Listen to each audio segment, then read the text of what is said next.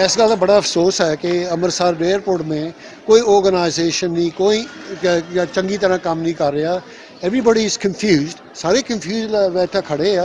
ਲੇਕਿਨ ਇੰਨਾ ਇਹ ਕੰਮ ਆਸਾਨ ਹੈ ਕਿ ਇਹ ਆਪਣੀ ਜਿੰਨੀ ਜਾਣੇ ਵਾਲੇ ਹੈ, ਆਪਣੇ ਦਰਸ਼ਕ, ਇਹਨਾਂ ਵਾਸਤੇ ਉਹ ਬਹੁਤ ਸਹੂਲਤਾਂ ਕਰ ਸਕਦੇ ਆ।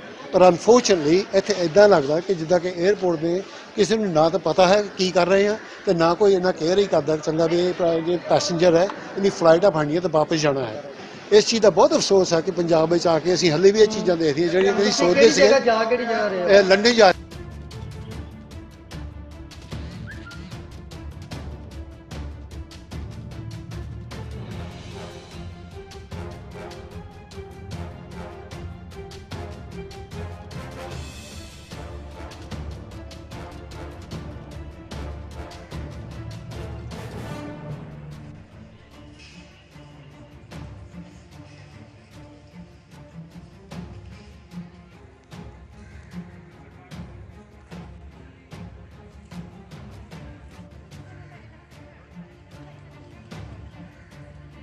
ਤੇ ਅਸੀਂ ਹੀਥਰੋ ਹੀਥਰੋ ਕਿੰਨੇ ਵਜੇ ਦੀ ਫਲਾਈਟ ਹੈ ਤੁਹਾਡੀ? ਸਾਡੀ BA 99111 C 2230 ਦੀ ਫਲਾਈਟ ਹੈ।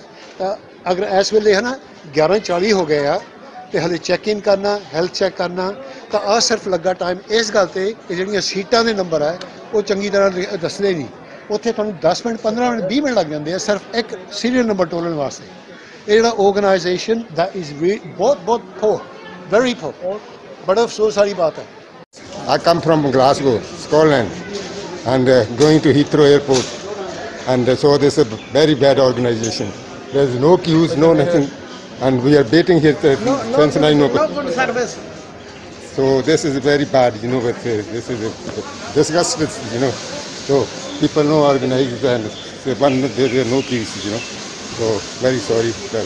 Okay. Good name. And you just Veer Singh ਹਾਂਜੀ ਕਿਹੜੀ ਜਗ੍ਹਾ ਜਾ ਰਹੇ ਹੋ ਆਪਾਂ ਯੂਕੇ ਨੂੰ ਜਾ ਰਹੇ ਹਾਂ। ਤੇ ਸਰ ਕੀ ਕੀ ਪ੍ਰੋਬਲਮ ਆ ਰਹੀ ਹੈ ਆਪਕੋ ਪ੍ਰੋਬਲਮ ਜੀ ਤੁਹਾਡੇ ਸਾਹਮਣੇ ਹੀ ਆ ਢਾਈ ਘੰਟੇ ਹੋ ਗਏ ਜਦੋਂ ਇੱਥੇ ਬੱਕਰੀਆਂ ਖੜੀਆਂ ਕੀਤੀਆਂ। ਕੋਈ ਇਹਨਾਂ ਕੋਈ ਸਾਡਾ ਤਰੀਕਾ ਨਹੀਂਗਾ ਕਿ ਬੰਦੇ ਮਾੜੇ ਇੱਕ ਲਾਈਨ ਚ ਲਾ ਕੇ ਨਿਗਾ ਦੇਣ। 10 ਵਜੇ ਇੱਥੇ ਸਾਨੂੰ ਸੱਦਿਆ 12 ਵੱਜ ਗਏ ਆ।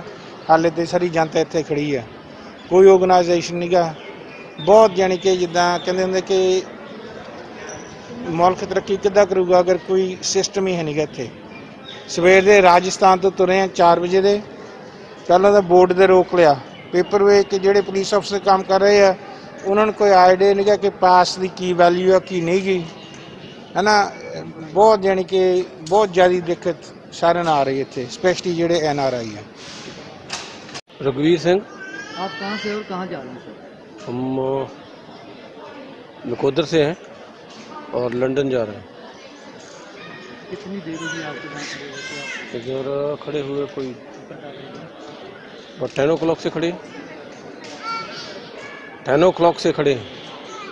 तो कितने बजे की फ्लाइट है आपकी सर और हाफ पास टू की कितनी खुशी है आप आज वापस जा रहे हो ਖੁਸ਼ੀ ਤਾਂ ਤੂੰ ਹੁਣ ਦਾਦਾ ਕੋ ਮਹੀਨਾ ਹੋ ਗਿਆ ਬਲੌਕ ਹੋਇਆ ਨੂੰ ਇੱਥੇ ਇੱਕ ਮੰਥ ਹੋ ਗਿਆ ਬਲੌਕ ਹੋਇਆ ਨੂੰ ਤੇ ਹੁਣ ਤਾਂ ਆਪਦੇ ਪਰਿਵਾਰ 'ਚ ਜਾ ਰਹੇ ਹਾਂ ਕੋਈ ਯੂ कोई मैरिज देखने आए थे थे वैसे ही घूमने आए थे नहीं नहीं मैं तो एवरी ईयर आता हूँ कब ये दो साल हो गए अभी पहले एवरी ईयर आता था कोई प्रॉब्लम नहीं थी लेकिन यू नो क्या कर सकते हैं यहाँ जो पे प्रॉब्लम है जो प्रॉब्लम तो प्रॉब्लम है ना आप अकेले आए थे कि फैमिली भी आई मेरी वाइफ भी आई है ना